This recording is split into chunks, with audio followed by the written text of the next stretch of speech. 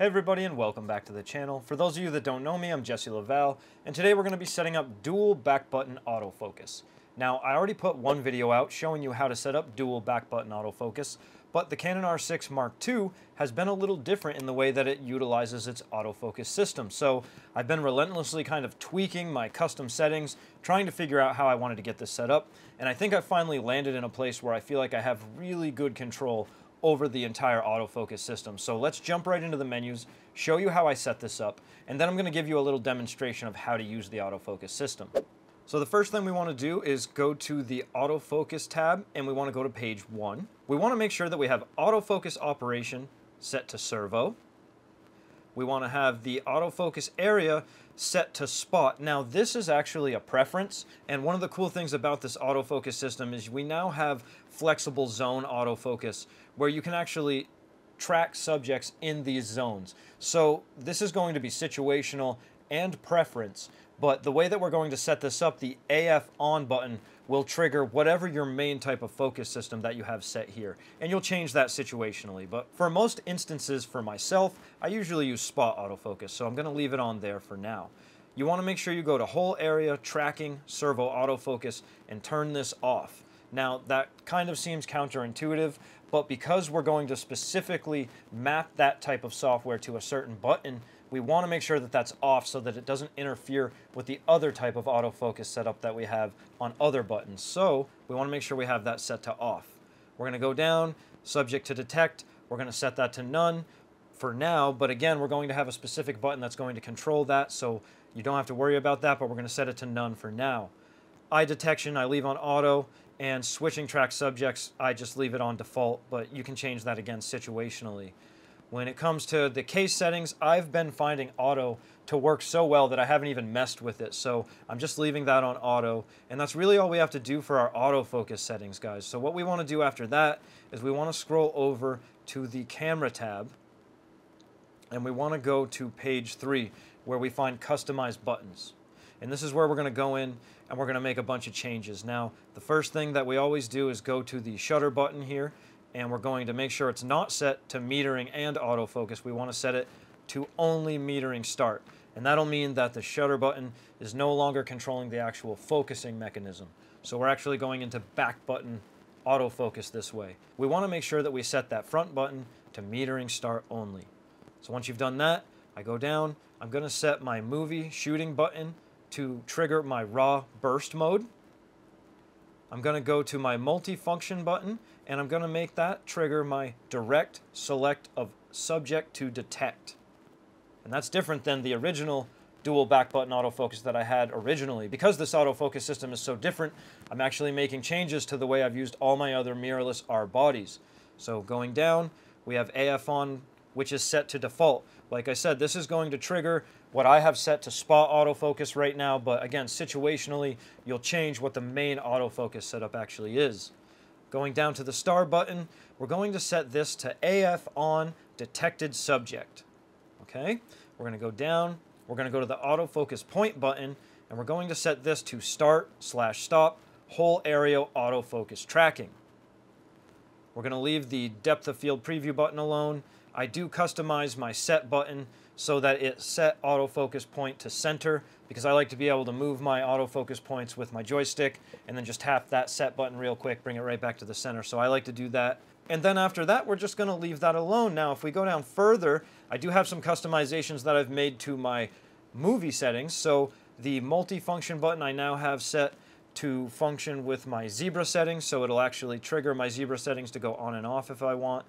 I leave the AF on to default, I set the star button to trigger eye detection. I set the autofocus point button to trigger subject detect autofocus. Depth of field left alone. Again, I've set the set button to set autofocus point to center. Joystick is default and everything else is default. Now, once you've made these changes, you have my actual autofocus setting set up. You're set up for this modified dual back button autofocus. And what I would then do is once you have all your settings set up correctly, you want to go over here to the wrench tab and we want to go to custom shooting mode and I would encourage you to save these settings into one of your C settings. That way you can flip right back to this type of a setup and then you can reset your manual mode back to the default mode, and then you can actually flip between these custom settings and you're more of a default type of front shutter button setup if you want to very quickly. The one thing that you do want to be aware of is when you save something into C mode, you want to make sure that you have everything set the way that you want it when you flip to that. And I mean everything, like your shutter speed, your white balance. It's going to save every single setting in your camera. So make sure you've got it set up to a base setting that you're happy with going to when you first flip that dial right over to your C1 or 2 or 3 or whatever you saved it to.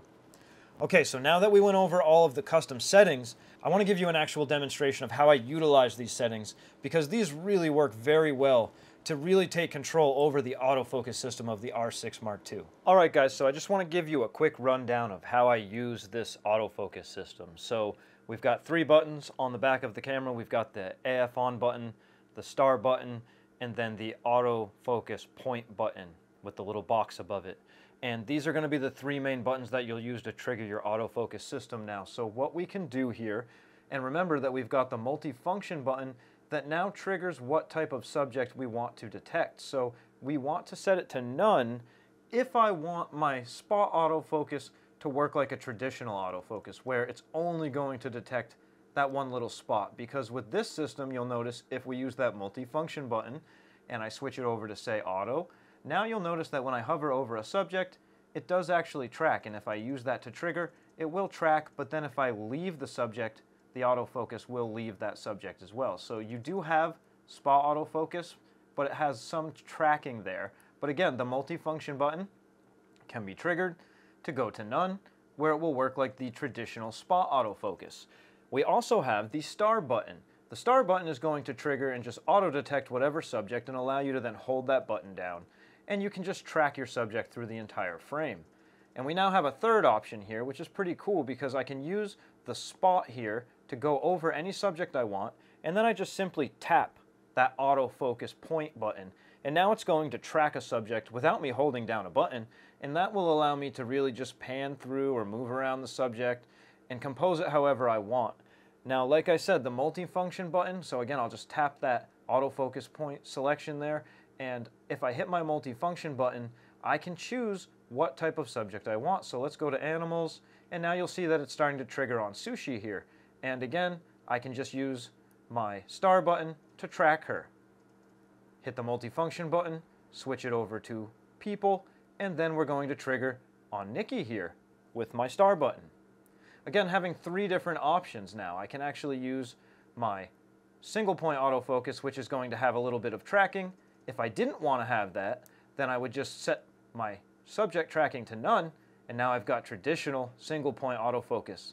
Also the ability to trigger with my star button, which will just automatically detect a subject, and then I can hold my button down, or being able to use my autofocus box here to really hover over any subject and tap that autofocus point and it'll just assess that subject and then track that subject, hit it again to turn it off.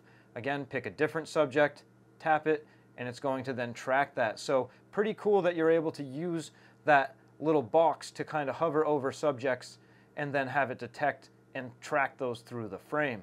Now another thing that you can do that's been really cool with this system is we can go into the Q and we can hit autofocus and we can change it over to this flexible zone autofocus. And now, again, using that multifunction button, we can tell what subject we would want to detect and it will only detect subjects within that box using the autofocus button to trigger that, which is a really cool addition to the autofocus system here. So pretty cool. Anyway, guys, I just wanted to kind of go over that. There is one more thing. If you hit the recording button, I have mapped the raw burst mode, so you can enable that and go into your raw burst pre-shooting mode if you want to very, very easily, and then you can just flip right back out of it very, very quickly. Anyway, I hope that this video helped you out a little bit, and if it did, go below, subscribe, click the notification bell, and I'll see you guys on my next video.